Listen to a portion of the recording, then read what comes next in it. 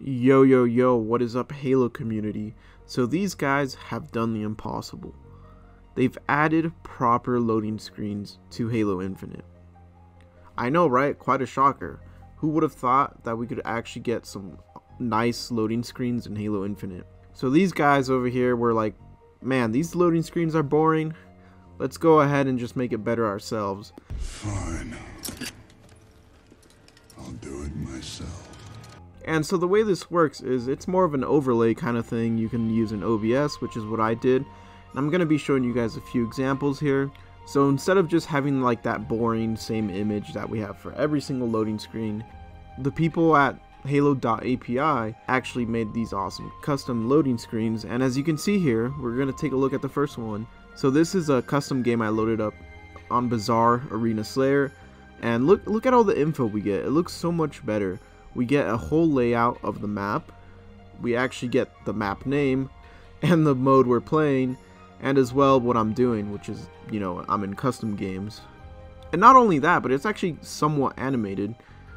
You know, you got the background moving a bit. You even got like a loading symbol at the top right corner.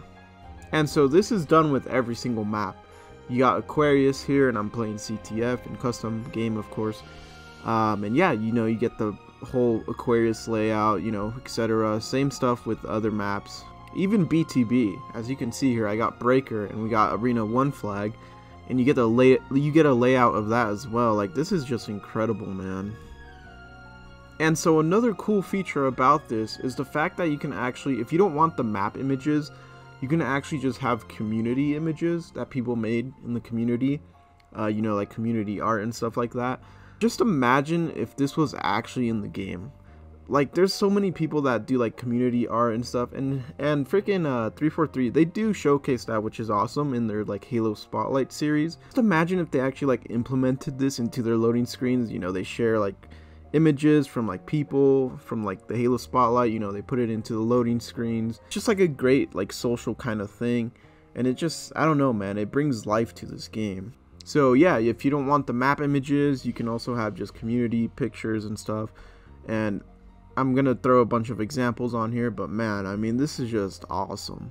Okay, so here we are on the file share system, and holy man, this is freaking amazing. So this is all community made by the people at uh, Halo.api, and this is a more recent thing that they just uh, released.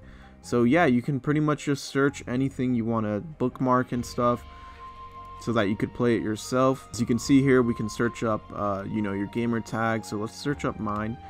Oh yeah, you can also check theater films, which is crazy, man. So let's go to map. Um, can I go to Halo 5? Okay, we'll just put search and then, because I don't think I have anything in Halo Infinite, so might as well search uh, Halo 5. So let's do that. Let me search again. And yeah, you just got to put a gamer tag, you know, the mode or map, whatever you want. And boom, look at that. You can see all my uh, my maps and stuff that I have saved. And so you can actually see my old infection map. I made a video on this a long time ago, by the way, if you guys want to check that out.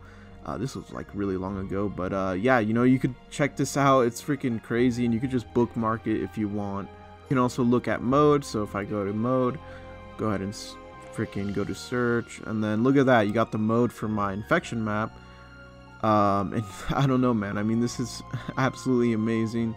I wish 343 would like, I don't know, man. It's, I just don't understand how we don't have a system like this already. Now, here's the bad news: we're not going to be able to use this kind of stuff in the future when Forge launches on Halo Infinite and stuff like that because they're going to be shutting down their services. And the reason for that is because, you know, obviously running that kind of stuff takes a lot of time and a lot of money.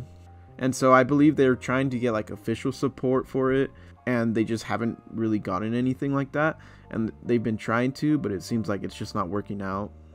So it's just incredibly sad that, uh, you know, something like this is just fading away. And I just wish, I don't know, man, it sucks I hope they somehow get in contact with like Microsoft or something or like 343. I think they were getting support from 343, I believe is what they said. But it was like some kind of Microsoft policy or something that's preventing them from actually like getting this to be like an official kind of thing, I believe. But anyways, if you guys want to show your support, uh, you know, I'll go ahead and link their account, their Twitter account and stuff, and of course like the overlay and the uh, file share and all that stuff, so you guys can check it out. But man, dude, I just think it's absolutely incredible that they've made this kind of stuff for the community. It's it's crazy. I think they even have like a stats kind of thing where you could check people's stats. Um, I don't know, man. It's insane.